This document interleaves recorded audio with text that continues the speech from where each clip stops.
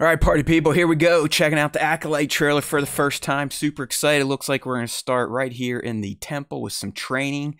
So here we go. We'll probably watch it at least twice. You never know. I'm excited, shaky a little bit. Let's check it out. Close your eyes. Sol, so that must be the master's name. Your eyes can deceive you. We must not trust them. Guessing that's Amandla right there. What comes into Ah, your sweet. Like I said, this more than likely is the acolyte here in the purple. I see fire. And there she is a as a kid. Ooh, Carrie-Anne Moss. So she's definitely a Jedi. Ooh, yeah. Someone is killing Jedi. Yord. It doesn't make sense. So Yord the Jedi. What happened? I sensed the darkness. Ooh. There she is.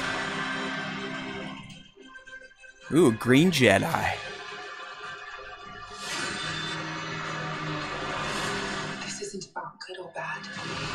And a Seiya. This is about power. And who is allowed to use it. Ooh, who's that? What is that?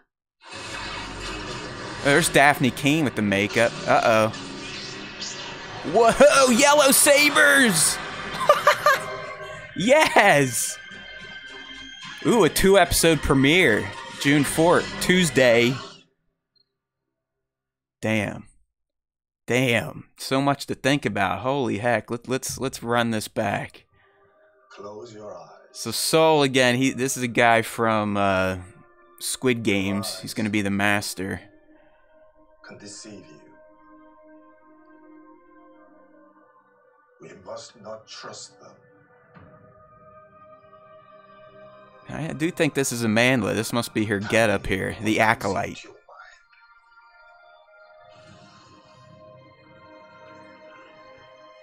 Alien's looking great. Balance. I see fire. That has to be Amandla as a kid. And I'm wondering if they were partners or what's Carrie-Anne's Jedi.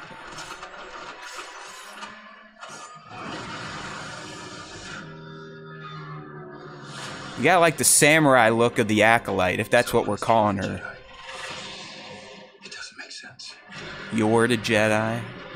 There's the Wookiee. Darkness.